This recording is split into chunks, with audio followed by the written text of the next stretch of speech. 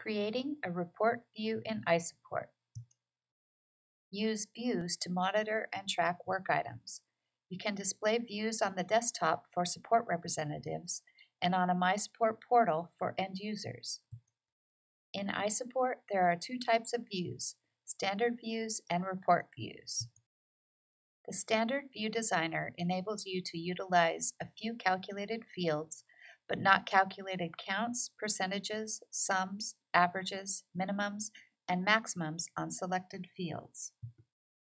Use the Report View Designer to create report views that include calculated counts, percentages, sums, averages, minimums, and maximums on selected fields. In this video, we'll cover how to create a report view called Incident Counts by Assignee Location, Current Year.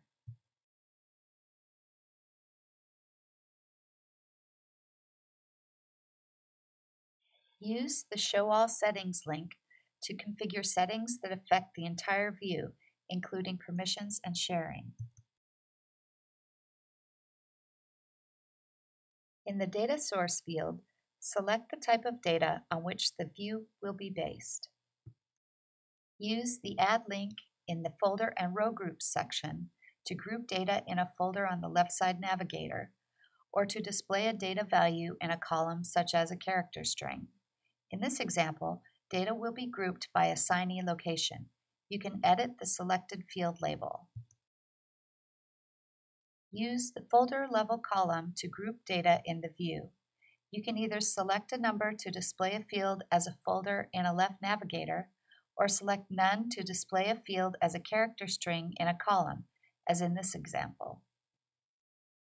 For the column display order, enter the number for the position of the column. You would select Hidden in this field if you wish to group data as a folder and not a column, or if you wish to prevent the field grouping from displaying in the view. Use the Calculated Fields section to add columns with counts or percentages.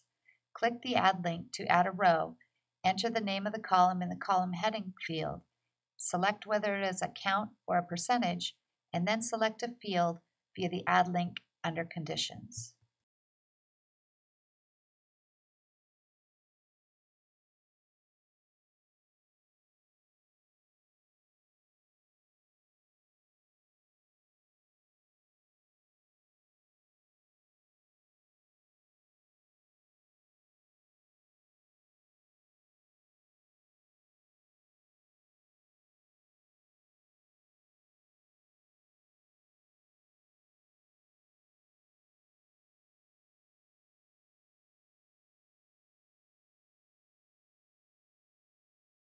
Use the Aggregate Fields section to add a column that displays the minimum, maximum, sum, or average value for a selected field.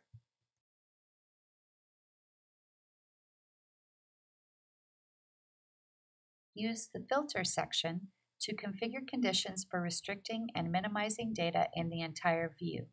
In this example, the view will only report on incidents created during the current year.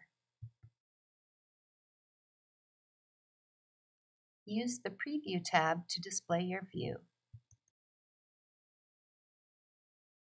That's it for an overview of how to create a report view in iSupport. If you have any questions, be sure to consult the online help.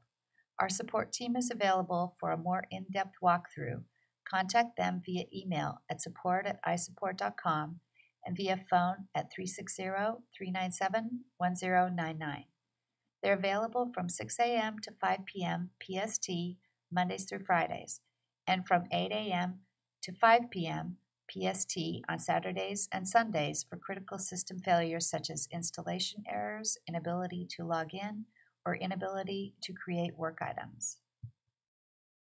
You can also go to mysupport.isupport.com, iSupport Software's technical support website, to chat with support representatives submit and view incidents, search the knowledge base, view FAQs, submit ideas, and participate in the user discussion forum.